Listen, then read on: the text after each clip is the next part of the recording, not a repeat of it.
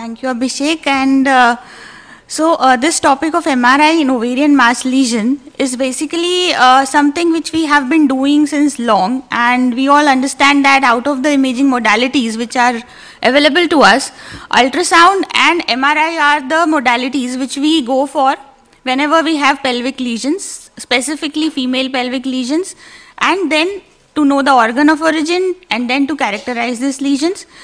So the basic aim every time is to characterize them as whether they are benign or malignant. And something like very similar to BIRADS, which we are all accustomed with, now we have ORADS. And ORADS have tried to make our, make our lives very simple and systematic. So the main aim of this talk will be just to go stepwise through ORADS, the lexicon and how they have tried and classified to approach these ovarian masses. So this system is to ensure uniform, unambiguous MRI evaluation of ovarian and adnexal lesions as well. So it's not only ovarian but adnexals. So fallopian tube etc. is also included in this same ORADS lexicon. And uh, history-wise, it just started somewhere in early 2015 when this entire uh, team came in, the committee was formed, and 2020 they have brought in this ORADS completely with MRI lexicon as well. So if you go to their site on this acr.org, they give you this kind of hyperlinks. So ORAD's MRI risk stratification is there, then lexicon is there, and a complete white paper is there to explain everything in detail. So we'll just revise this in the next 10 minutes. So there are seven criterias which you have to use to describe these ovarian lesions. If you want, you can make a table of it for your reporting templates and use them. So your reports also will be very clear and quick also. So basically physiologic observation. Are you confident that it's a follicle or is it a corpus luteum cyst? So that has to be in a pre-menopausal female only. That is one thing. And you can just put it on paper, it's a follicle corpus luteal cyst like that. Second, determine whether it is non-physiological. So it is either a cyst, a lesion with solid component or a solid lesion itself. Next, you have to comment on the size. So as we measure on MRI routinely, those dimensions, margin to margin, three dimensions of the lesion. Shape, only two uh, lexicons are there, smooth or irregular. Signal intensity, homogeneous or heterogeneous. That is the descriptor. Homogeneous is same intensity all over and heterogeneous as we know it's a mixed intensity. So they have also described T2, T1 and diffusion when to call it hyperintense, when to call it hypointense. So we'll see. Then the lesion component, how much is the solid component? Whether to call it completely solid or solid cystic. And then enhancement. Enhancement has to be in two ways. One is dynamic enhancement and one is non-dynamic. So dynamic is important. And then whether there are some additional findings, extra ovarian findings or not. So basically these are the guidelines. So first if you see average risk patient with no acute symptom. So basically you are using ORADs for these kind of patients. If there are multiple lesions, each lesion will be given one ORAD and the highest ORADs will be considered for the management point of view, similar to what BIRADS is. And then these are the main pointers they have put in. Separately, they have put in that dermoids, that the fat containing lesions can be into ORADS 2 also and can be into ORADS 4 also. So that is important to know the differentiator between the two so that we will see. And dynamic contrast enhancement with perfusion are preferred over non-dynamic. So all these definitions are there, when to call it a simple fluid, when to call it hemorrhagic fluid, when to call it proteinaceous fluid. All of these they have described one to all including the definition of adnexa. So I have taken few important uh, lexicons just to discuss that. Cystic lesion, Lesion with solid component, solid lesion. So three terms, cyst, cyst with solid component or solid lesion. Cystic lesion can be unilocular or multilocular, easy to understand. Lesion with solid component. So that solid component can be a papillary formation, like we call it like a papillary projection is present or not. Mural nodule. It can be irregular wall thickening or a solid portion in itself. Other solid components not considered as solid tissue. So they are not solid tissue, they are just solid component which is fat, debris and clot or a thick wall septation. So that is important. If fat is present, you don't call it a solid component within the lesion. It's just a fat component which is C. So not considered solid tissue. This will not upgrade your ORAD score. and solid lesion is consist of at least 80% of solid tumor in that particular uh, lesion. So this is the term they are using. So one thing to remember is more than 80% solid is actual solid and if you have clot, you're confident it's debris, non-enhancing clot, debris or fat component, you don't consider it as solid. Then intensity. So T2 is it with respect to CSF for hyperintensity and with respect to your muscles like iliopsoas muscle for hypointensity. So observations which are hypointense to your muscle is T2 hypointense. Observation which are hyperintense to CSF or equivalent to CSF, they are actual hyperintense. So that means that they have described every pointer which we are using in our report. So everything is very clear. So there is no ambiguity that whether it is hyperintense, hypointense, when to call it solid, cystic. Again, T1 wise, the comparison is with fat for hyperintensity and muscle for hypointensity. And then these are the ways they have described the lesions. So whether it is just a unilocular lesion with thin wall or a unilocular lesion with multiple septae, lesion with papillary projections, lesion with mural nodules. So the graphic representation, lesion with thick septations which are enhancing, lesion with more than 80% solid component and lesions which are almost completely solid. Now coming to the enhancement curve. So we'll see the examples, but when you perform this dynamic study, you all must have done it for the breast MR if you are doing it, or even for prostate, or even for pituitary. So this dynamic MRI will be multiphasic MRI, and you have to form these curves when you post-process these images. What is most important is the initial uh, rate of uptick of contrast. That is more important as compared to what happens to the curve later on. So the lesions which have a higher rate of early pickup, so rapid enhancement. Here you can see the lesion and myometrium, so two different curves. The angle theta with the horizontal, when it is more, then that means it's a higher rate of enhancement and that makes it a higher grade or risk of malignancy goes higher up. So lesion which is just slowly enhancing as compared to a normal myometrium and not taking much of contrast is more towards benign lesion which is picking up contrast but still less than myometrium, the rate is also less than myometrium, still low grade. Lesion which is quickly picking up contrast when compared to myometrium and then plateauing almost equivalent to myometrium, then it is towards a higher grade of ovarian lesion. Then we have doubt when to call it papillary projection or when to call it mural nodule. Therefore, I have just taken this also.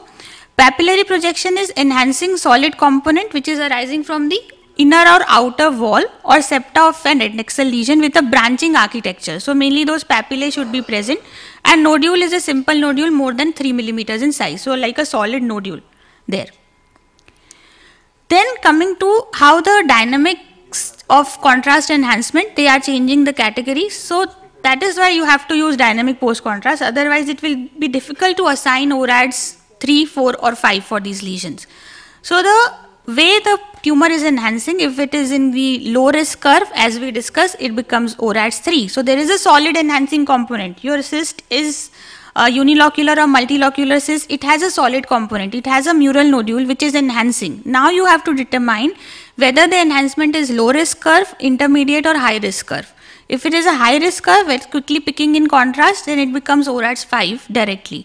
If it is still like uh, slowly taking up contrast as compared to myometrium, it remains into ORADS 3. And associated findings, peritoneal thickening, peritoneal fluid, again making your lesions towards malignant spectrum or higher grade spectrum.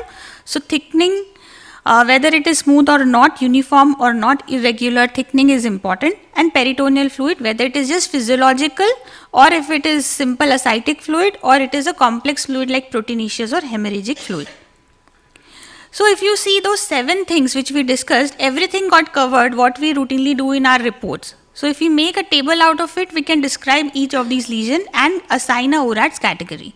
So ORADS 1 are very simple. They are either physiological or they are the simple lesions like follicles, hemorrhagic cysts less than 3 centimeters or confident corpus luteal cysts less than 3 centimeters. ORADS 2 is almost certainly benign And importantly, if you see unilocular cyst with no wall enhancement, directly go into ORADS 2. So this is one of the commonest big cyst you will see they are unilocular, there is no uh, solid component and there is no enhancement. So this is ORADS 2, they may turn into cyst adenoma sometime, but these are ORADS 2 lesions. Unilocular with endometriotic contents. When you're confident it is endometriotic cyst, which we'll discuss in some lecture today, but that pertinent T2 shading sign is present, you know that it is blood products inside and it is endometriotic cyst, it is straight away ORADS 2. Lesion with lipid content and no enhancing solid tissue. So your dermoids, when we said that it is either ORADS 2 or ORADS 4, so when it is simple lipid content and no enhancing solid tissue. That is most important, no enhancing solid tissue. So that is why you have to take subtracted images whenever you have T1 hyper intensity in your lesion pre-contrast. So fat component will be bright on T1. Even post-contrast, if you take, it may be just bright because of the fat content, but they will do fat suppression. If you want to see the enhancement in the solid component, you should take a subtracted image. So that is important. Enhancing solid component will make it ORADS 4. And lesion with homogeneously T2 dark solid component. This is something important. If it is completely solid, so that gives us an impression completely solid towards ORADS 5. But if it is homogeneously T2 dark completely solid, it is ORADS 2, fibroma. So you can leave it to that spectrum of ORADS 2 lesions. So these few terms are important. Then dilated fallopian tubes, hematosalpinx, hydrosalpinx and paraovarian simple cysts again become ORADS 2. What is ORADS 3? Unilocular but with some kind of proteinaceous hemorrhagic or mucinous fluid within it. Hemorrhagic fluid when you are sure it's not endometriotic cyst. And it has enhancing wall. So mainly the enhancing wall make it ORADS 3. So that is one thing which is important.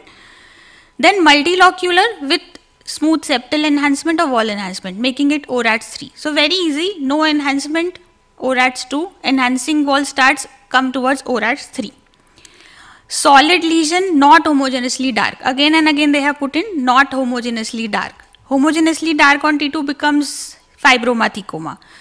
Now this is not fibromathecoma, we know that and it has a low intensity curve, still ORADS 3 lesions like Brenner's few more examples like hematosalpinx. Then coming to, so we'll quickly finish. Uh, ORADS 4 lesion, we will have everything, a solid component, enhancing septa, enhancing wall and intermediate kind of curve. So this is ORADS 4 lesion and dermoid with a squamous cell. So that is when we have to call a, call a fat containing lesion as ORADS 4 Then it has a solid component which has enhancement. And ORADS 5 will have lesion with solid tissue with high risk of intensity curve. So this will become ORADS 5 highly uh, malignant kind of a lesion. And they have also given a calculator which is easily available. They have questions in that calculator. So even you don't have to put in much brains here. Just click yes, no, yes, no and they will give you the ORAD score. So I think we can start using this often if you have not yet started. So just you have to choose whether they start with the most risky features that is the irregular thickening, peritoneal thickening etc. If you choose yes here it becomes directly ORADS 5. And then this table is there where you are explaining that what to do next. So ORADS 3, 4, 5, they have to be managed. Histopathological diagnosis is re required, important. ORADS 4, 5, you will need an onco specialist also in picture. You will need to see the extent of the disease spread in ORADS 5 disorders. And then there's no standardized guideline, but most often uh, in place, PET scan also comes in picture when they want to see the complete extent as an index scan.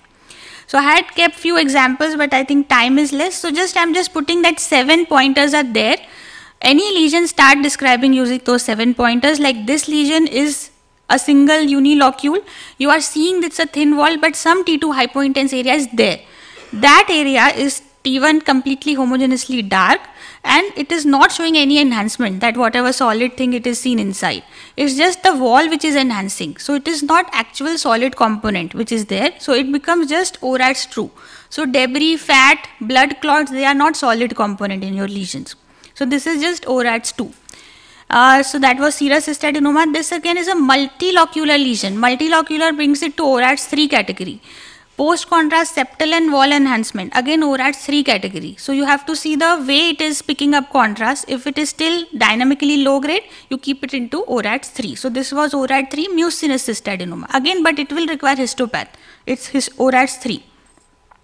So there are differences importantly between serous, mucinous and mucinous. Again, you can go through these, but mucinous most of the time are unilateral and multilocular. They will have some kind of proteinaceous content. So if you see your T1, they will be heterogeneous in appearances.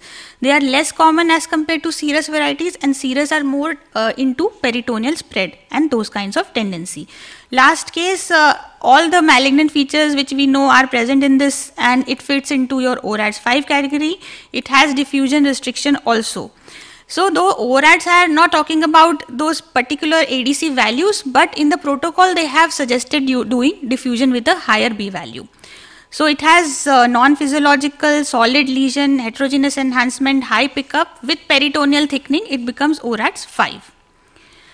So uh, with this, whatever we have discussed, this chart is also there. are a lot of uh, you know guidelines at the ACR, European uh, Society, Korean Society. Everybody has come up based on these ORADs, and they are easily available and very easy to understand as well. What we discussed in the last half an hour.